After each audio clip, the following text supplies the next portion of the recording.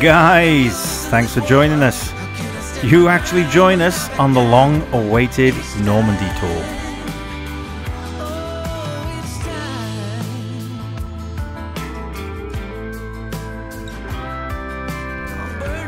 Currently, you can see us riding down. Uh, we were at Bracknell.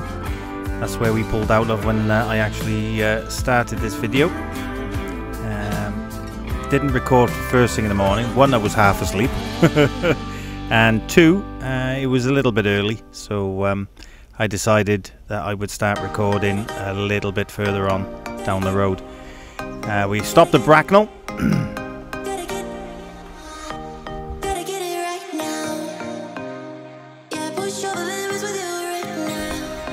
We had a cup of coffee and a little bit of breakfast uh, before making our way down to the services just down by Dover. Can't remember the for the life of me the name of the services. As you can see, my brother there. Watch him have a little jig now.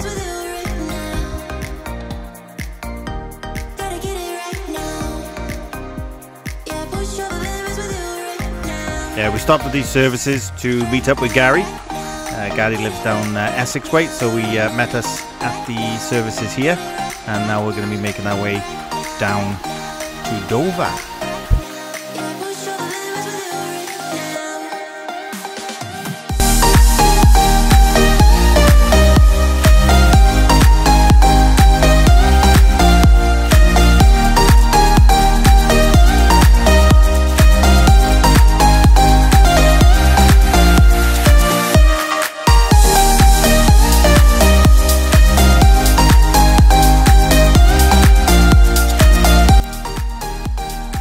I'd put the camera on at this point as we're not too far from Folkestone.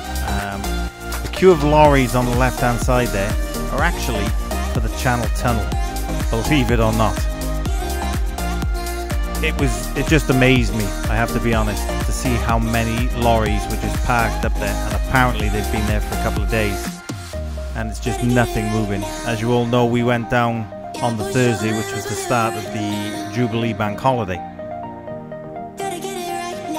this queue was absolutely unbelievable. This went on for miles and miles and miles. They've literally shut down the left-hand carriageway, which was originally the carriageway leading down to Dover and Folkestone. And they've just closed it down for lorries to park up on there. And that's why, as you can see on the right side now, they've split the carriageway that used to be coming out from Dover into four lanes. So you've got the two lanes going in, two lanes coming out as you can see, I was I was just amazed. This is why I kept looking at it. Um, it's just a queue after queue after queue, and it's um, very daunting. And I felt really sorry for him. I gotta be honest.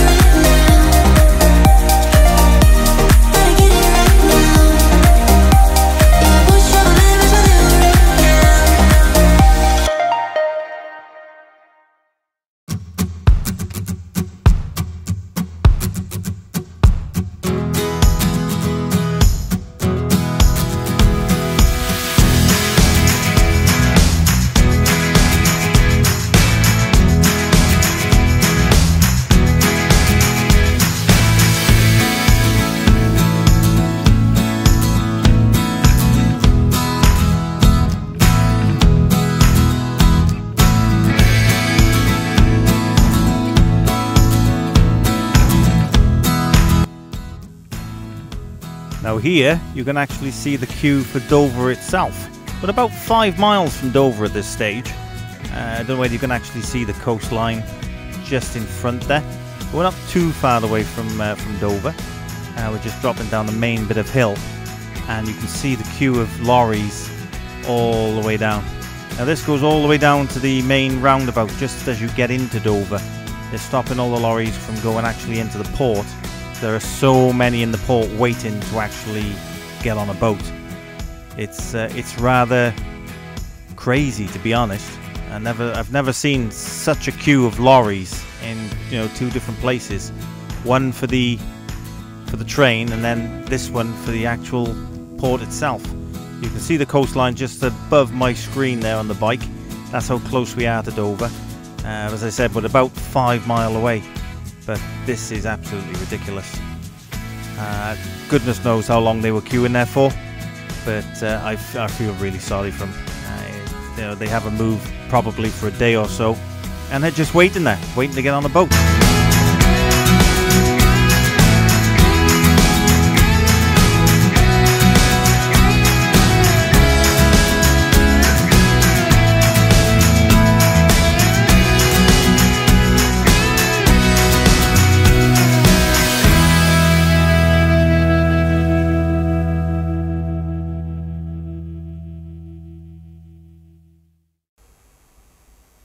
As you can see now, we are just coming into Dover now, and that was the end of the queue with the policeman there on the left, uh, on the sorry, on the right hand side there, stopping everything coming in, and he gets a message then when he can send more through.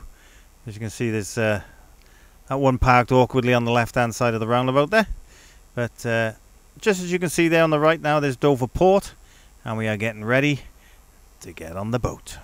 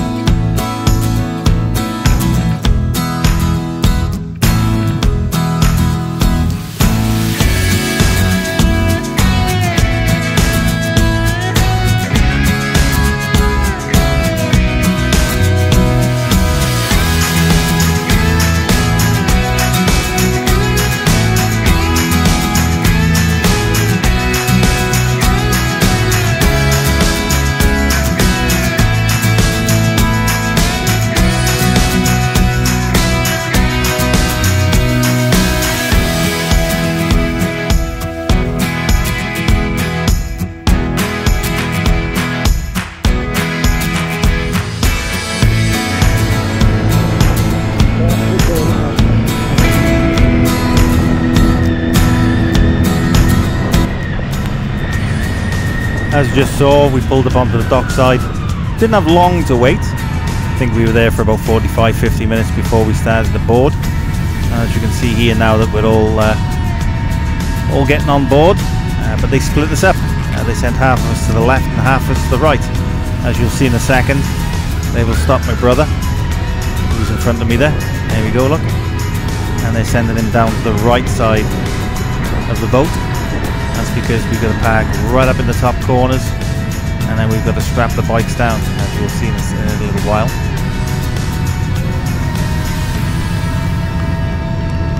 They're just telling Dave there now where, where to park. Don't know what I was doing with my hand there, something to do with the helmet I expect. But yeah, we had to go all the way down the bottom end of the boat and uh, pull up on the right hand side there. And this is where we pull up and I got a squeeze between a car and the side. Not too bad for Dave, isn't his isn't as wide as mine. I see how wide this is now compared to that to David's. I literally had to stop to make sure I didn't hit the gentleman's wing mirror on his car. And I pull up behind Dave.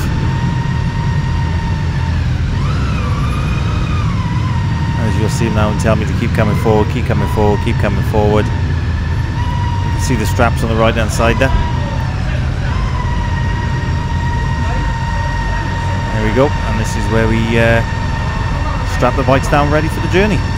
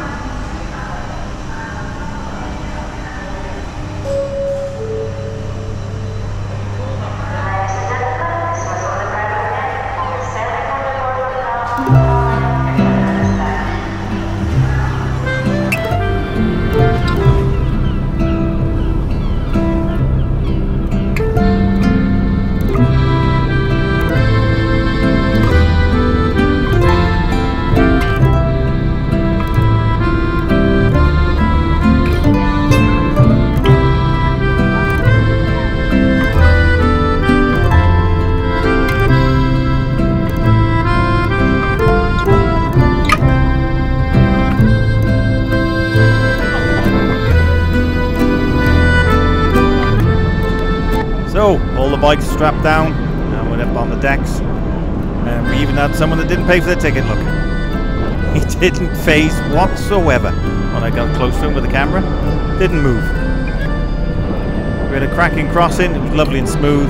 As you can see the day was still gorgeous. sun was shining and we thoroughly enjoyed the trip across. Nice relaxing time. Had a sandwich, a cup of coffee. And uh, yeah, just uh, wait until we get towards Dover. Can see, he's not phased whatsoever with the camera. Not camera shy whatsoever.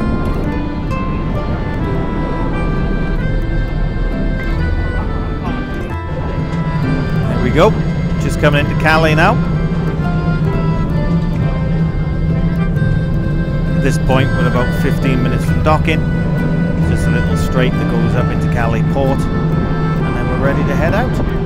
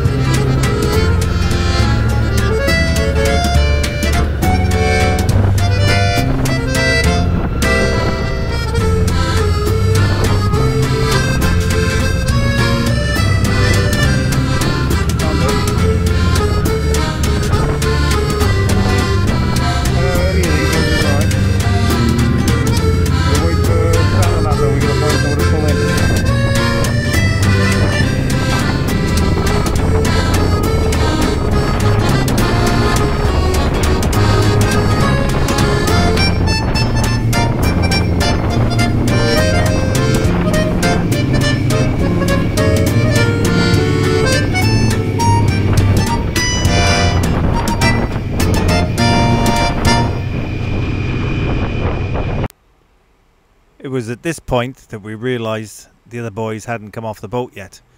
So we had to try and find somewhere to pull over and wait for them. And we did have a little bit of a wait. And when we get to the bottom here, there is a little pull-in just by the old passport office.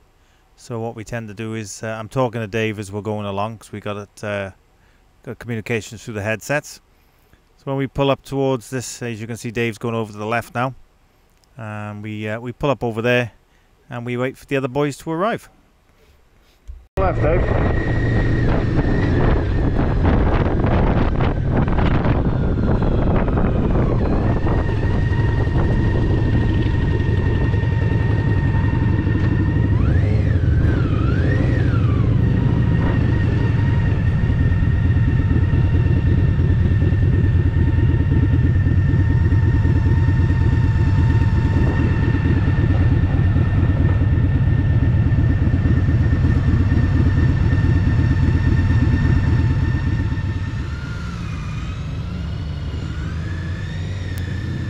This point, the rest of the boys came into sight, and away we went. Heading for a hotel, which was about a four and a half hour run down. I think it took us about six or seven hours altogether with the stops that we made. It was rather warm, so we had quite a few stops for refreshments and a bit of food, and we just made our way down.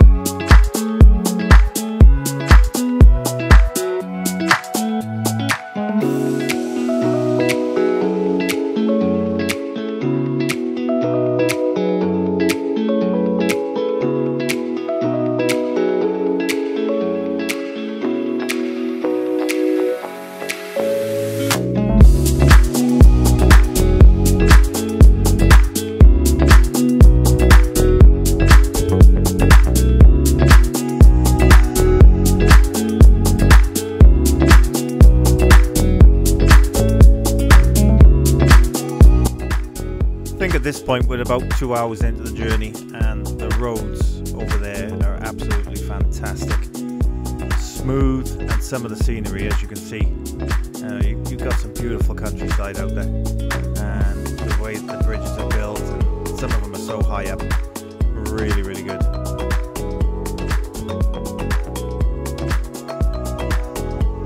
And it was nice that we were all riding in sequence as well, and I do believe we are now approaching first, but we're approaching uh,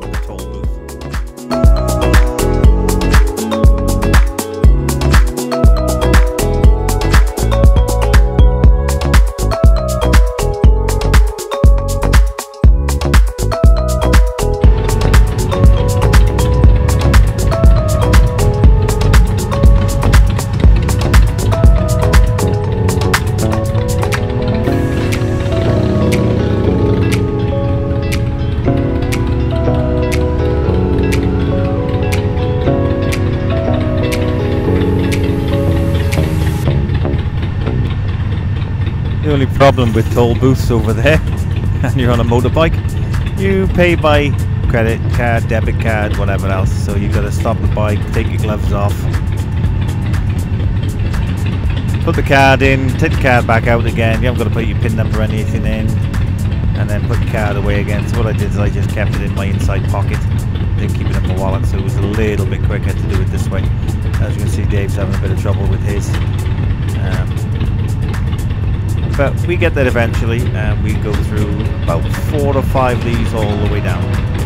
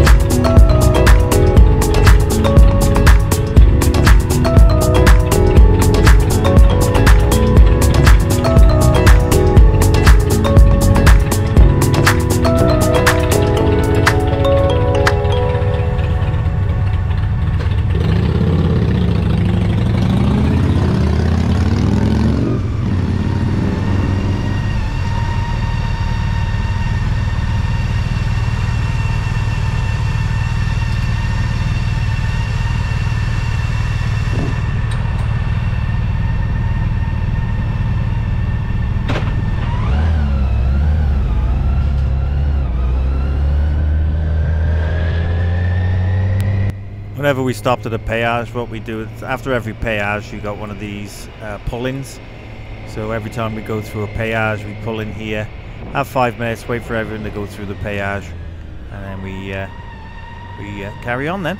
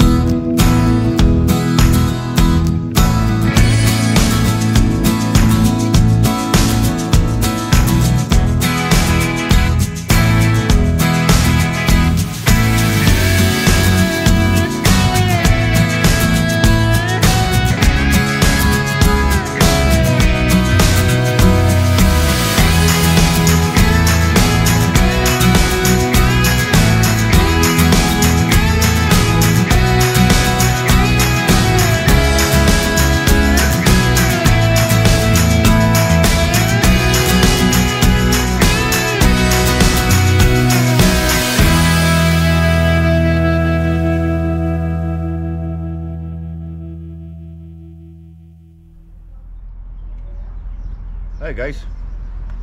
Oh, not long got up. It was a long day yesterday. It was a very, very long day yesterday. It is now Friday. Uh, it's the second, no, third of June, and we are in. I think you pronounce it Caen, C-A-E-N, in France. Um, what a day yesterday! It was a day of, well, it was an eventful day. Put it that way. it was a long, long ride down. Uh, obviously, we had the ride from Wales down to uh, down to Ca- down to Dover, boat across to Calais, and then from Calais down to here, which was about all in all. Uh, well, we got back here. We got here about half past seven last night. Uh, obviously, we did lots of stops on the way down, um, but it was about four and a half hours running time, and uh, yeah, it was good. It was good. Um, a couple of the boys dropped their bikes. Um, mine wouldn't start for some reason. Um, it was uh, uh, found out it was actually my key fob. Uh, luckily, I brought my spare set with me because the immobilizer had kicked in and it wouldn't restart. Um, it was all full, full of power, all the power on it. Uh, it just didn't want to turn over. Um, so uh, after a bit of uh, messing about with it and checking different things to make sure everything's alright with it, they said if you've got a spare key fob, and uh, tried it, tried locking it, unlocking it with the other fob, it started straight away. So it's obviously the immobilizer. So it is now. Uh, well, it's eight o'clock at home, nine o'clock um, local time. So it's uh, it's time for breakfast, and then we're going over to Utah today. We're going the f- furthest point on the first day, so we're going over to Utah Beach and all the areas around that way. And yeah, let's see what sort of footage I can get for you. I'm going to take my drone with me. Fingers crossed, I'm going to get some nice footage on the drone, and uh, we'll go from there. So let's get going, is it? Let's go and have some breakfast first, though. see you in a bit.